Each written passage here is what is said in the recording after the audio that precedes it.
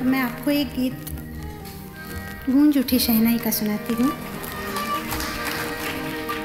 इसके संगीत दिग्दर्शक थे वसंत देसाई। आज उनकी याद में मैं ये गाना सुनाती हूँ।